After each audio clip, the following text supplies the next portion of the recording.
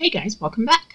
So today I'm just kind of having a play with stuff. I've got one of my tiny little puffy heart molds here um, that I didn't do a very good job of cleaning out because I forgot to do it before I hit the camera. Um, now it's done. And I've got three of my About Alcohol inks over here. I've got red copper, bright red, and purple red. And I've got about an ounce and a half of my Phooey Tim 1 to 1. So, what I'm going to do is pour in, and I've been letting this sit for a little bit just to kind of let it thicken up a little bit and debubble on its own because I didn't want to get out the doodah, the airless. And I'm just going to drop in my colors. This is the red copper just kind of in random spots.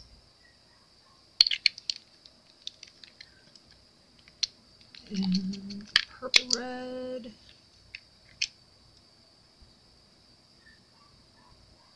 And one of the neighbor's dogs is just barking.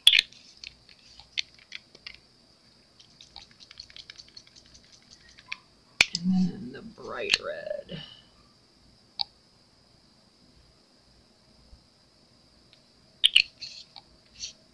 I'm going to let those sit for a minute. And then what I thought I would do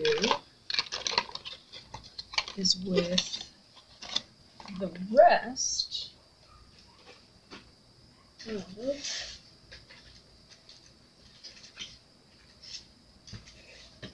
the resin I am going to add some pink flock.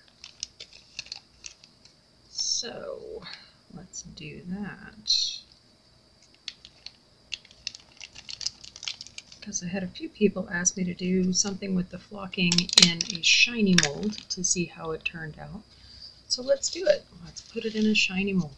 And it's not going to be all by itself, but you can still see what it looks like in a shiny mold.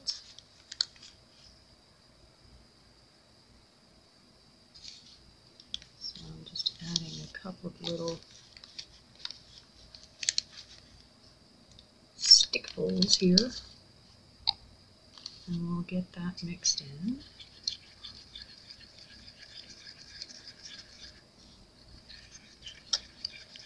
Just to give it a pinkish hue.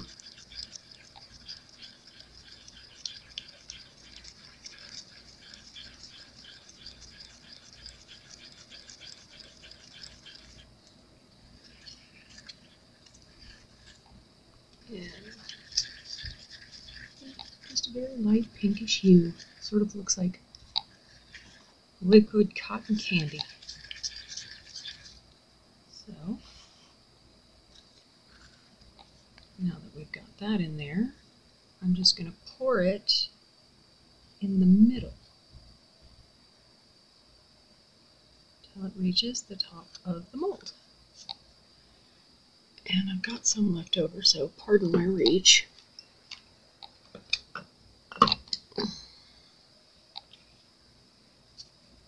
What I'm going to do is I'm going to take one of these little cabochons and we'll just fill those in with the pink so we can see what it looks like on its own.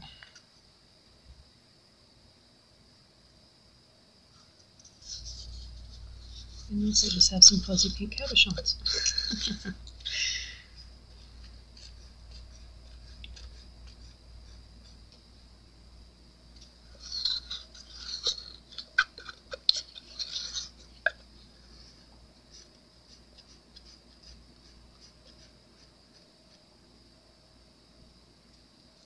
Right. Okay, got it all out of the cup.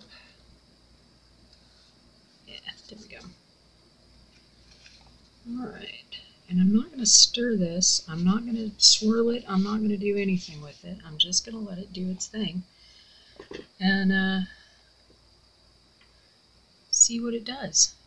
Just let it, you know, sort of see what it does. Could turn out cool, could not. Who knows? So let me. I'm just gonna sprinkle a little bit of isopropyl on top just to get rid of the bubbles. And uh, yeah, I will see you guys for next steps. See you soon. All right, let's get these guys out, see how they turned out. Now you'll see in the smaller uh, pink ones, I added some um, Sinker White uh, just to see if it would uh, react any differently or anything with the uh, flocking in there. So let's get those out and see what happened there. And it really doesn't look like it made too much of a change. It just, you can't really see it, so I think the flock kind of kind of kept those from sinking. But at least we get to see what it looks like in a shiny mold, yeah? It sort of looks like pink quartz. It's kind of cool. Yeah, I like it. On a second, I'm gonna.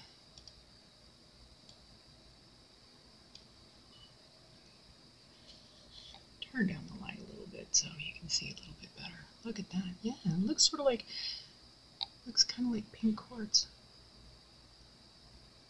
It's kind of cool.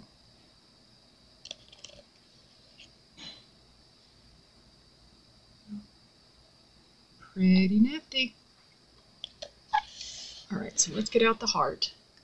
And this, uh, I'm actually really interested to see what it looks like.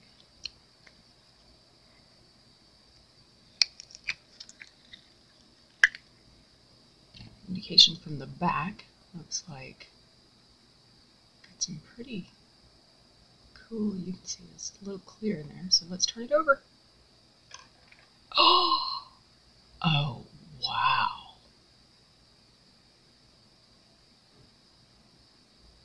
Oh, that looks super cool.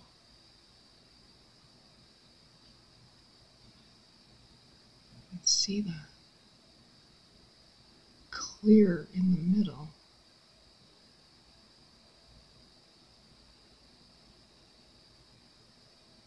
Wow that really looks neat.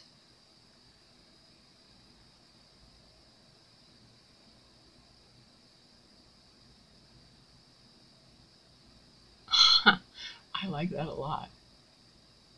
I'm gonna have to try this in a flat mold and see see what it looks like there. But yeah, check it out.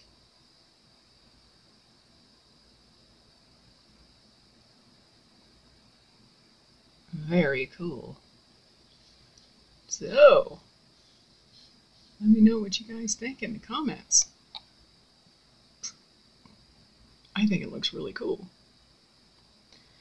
So yeah, that's flocking in a shiny mold. And this one with the uh, alcohol ink underneath it